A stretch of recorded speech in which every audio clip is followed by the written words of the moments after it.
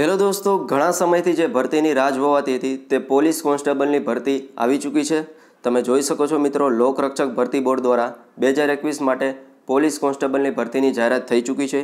તો આજના વિડીયોની અંદર મિત્રો, આપણે ચર્ચા કરીશું તેના માટે શું શૈક્ષણિક લાયકાત જોઈએ છે, શારીરિક ધોરણો શું છે, દોડ માટે કઈ રીતની જોગવાઈ છે, આ સિવાય એમસીક્યુ ટેસ્ટ માટે શું શું સિલેબસ રહેવાનો છે, એક્ઝામ પેટર્ન શું છે, તો આ બધા જ વિશે આપણે ડિટેલમાં ચર્ચા કરવાના છીએ. તો વીડિયો છેલ્લે સુધી જોજો. તો ચલો મિત્રો શરૂ કરીએ. સૌ પ્રથમ મિત્રો તમારા ફોર્મ ભરવાના એક દસ એટલે કે કાલથી શરૂ થઈ જશે અને એકવીસ દસ સુધી તમે ફોર્મ ભરી શકો છો. ઓજસ વેબસાઇટ ઉપર તમારે ફોર્મ ભરવાના થશે. એના પછી આપણે વાત કરીએ તો વેકેન્સી કેટલી છે. વેકેન્સીની હજી સુધી મિત્રો કોઈ ઓફિશિયલ જાહેરાત કરવામાં આવેલી નથી, પરંતુ અંદાજિત અગિયાર હજાર જેટલી ભરતી માટેની જગ્યા આવવાની છે, જે એક બે દિવસની અંદર આવી જશે. જેની અંદર મિત્રો બિન હથિયારી પોલીસ કોન્સ્ટેબલ, હથિયારી પોલીસ કોન્સ્ટેબલ એસઆરપીએફ કોન્સ્ટેબલનો સમાવેશ થશે. તો ટોટલ મિત્રો અગિયાર હજાર જેટલી ભરતી બહાર પાડવાની છે, તો ત્યારે તમે આજથી શરૂ કરી દેજો અને ભરતી ચોક્કસપણે વહેલી તકે આવી જશે. આ સિવાય મિત્રો, એના માટે આપણે વાત કરીએ શૈક્ષણિક લાયકાતની અંદર. તો મિત્રો, આની અંદર તમારે ખાલી ને ખાલી બાર પાસ જોઈએ છે. ગ્રેજ્યુએશન કરેલું હોય તો પણ ભલે અને ન પણ, તો પણ ચાલશે. જે પણ વ્યક્તિ ધોરણ બાર પાસ કરેલું છે, તે પણ કોઈ પણ વ્યક્તિ આના માટે એપ્લાય કરી શકે છે. જેના માટે તમારે મિનિમમ અઢાર વર્ષ પૂરા હોવા જોઈએ. અને મહત્તમ તેત્રીસ વર્ષના હોવા જોઈએ. મહત્તમ તેત્રીસ વર્ષની અંદર મિત્રો આપણે જાણીએ છીએ તેમ એસી એસટી, ઓબીસી, ઈડબ્લ્યુએસને પાંચ વર્ષની છૂટછાટ મળે છે અને મહિલાને વધારાને પાંચ વર્ષની છૂટછાટ મળતી હોઈએ છે.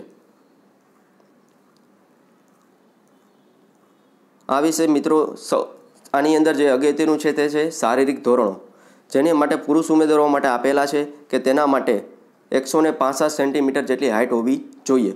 અનુસૂચિત સિવાય માટેના જેટલા પણ છે એસી ઓબીસી છે ઈડબ્લ્યુએસ છે જનરલ કેટેગરી માટે, બધા પુરુષ ઉમેદવારો માટે મિત્રો એકસો ને પાસઠ સેન્ટીમીટર હાઇટ હોવી અનિવાર્ય છે.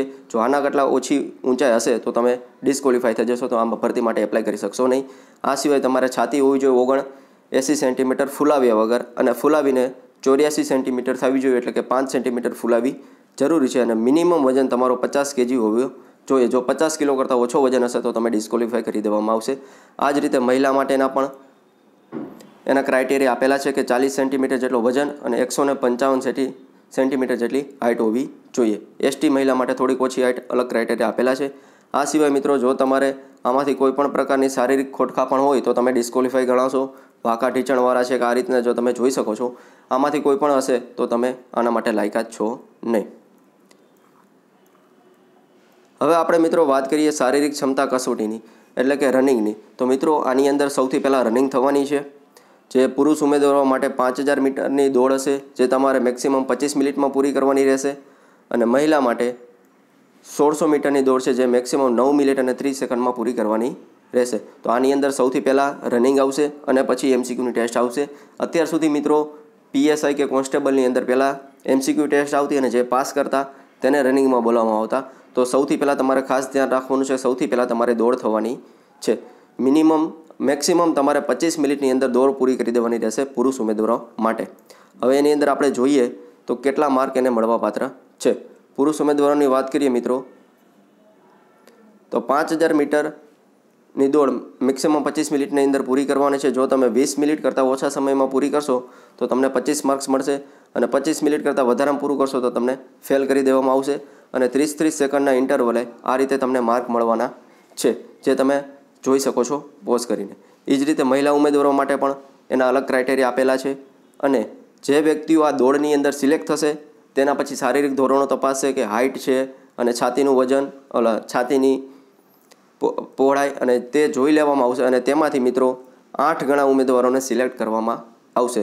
અથવા જેટલા પણ પાસ થયા હોય. એટલે કે મિત્રો અગિયાર હજાર જેટલી ભરતી છે એટલે ઓલમોસ્ટ ઇઠ્યાસી હજાર જેટલા ઉમેદવારોને એમસીક્યુ ટેસ્ટ માટે બોલાવવામાં આવશે.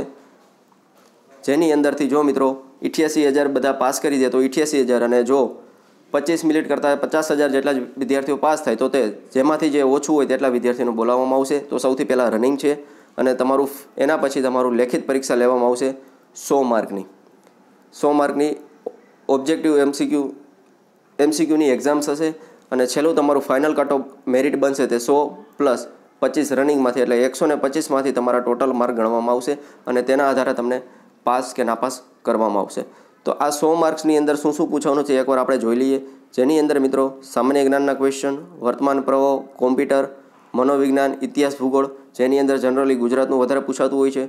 સમાજશાસ્ત્ર છે, માનસિક ક્ષમતા છે, વિજ્ઞાન તેમજ ભારત બંધારણના સિદ્ધાંતો છે, પછી મેથ્સના ક્વેશ્ચન હોય છે અને ત્રણ કોડ આપેલા છે.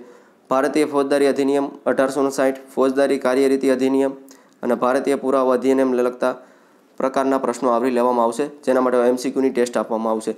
તો એની અંદર સોમાં આટલા એમસીક્યુ તમને, સો એમસીક્યુ પૂછવાના છે. તો મિત્રો, આની અંદર આપણે વધારે ડિટેલમાં પછી ચર્ચા કરીશું કે સિલેબસની અંદર શું છે, કયા પેપરની અંદર શું પૂછાલું હતું, કઈ બુકમાંથી વાંચવાનું છે. અત્યારે આપણે મિત્રો ખાલી જનરલ ચર્ચા કરેલા છે આ સિવાય મિત્રો તમે જાણો છો તેમ વિશેષ ગુણભાર પણ મળે છે. જેને હોય છે તેને એનસીસીનું સી સર્ટિફિકેટ ધરાવતા હોય તે, પછી રાષ્ટ્રીય રક્ષા યુનિવર્સિટીના જો તમારું પ્રમાણપત્ર મેળવો તો આ રીતે તમને એક્સ્ટ્રા માર્ક પણ મળેલ છે. આની અંદર આપણે જોવા જઈએ તો મેઇન વસ્તુ એ છે કે સૌથી પહેલાં દોડ થવાની છે. દોડની અંદર તમારે જેટલા માર્ક તમે મેળવી શકો છો તેટલું સારું છે. અને તે રીતે તમને પછી આગળ એમસીક્યુ માટે ક્વોલિફાય કરવામાં આવશે. તો આ આપણે ચર્ચા કરેલી છે. જો તમને આના વિશે વધારે જાણકારી મેળવવા માગતો હોય તો કોમેન્ટ કરજો. આપણે એના પછી સિલેબસ અને એના વિશેની આપણે વધારે ચર્ચા કરીશું. અને જાણો છો તેમ જનરલ કેટેગરી માટે સો રૂપિયા ફી ભરવાની રહેશે. ઈડબ્લ્યુએસ બધા માટે એસસી એસટી માટે કોઈ પણ પ્રકારની ફી છે નહીં. તો દસ તારીખથી લઈને, એકથી લઈને વીસ તારીખ સુધીની અંદર તમે ઓજસ ઉપર એપ્લાય કરી દેજો. ઓકે થેન્ક યુ મિત્રો. જય હિન્દ, જય ભારત.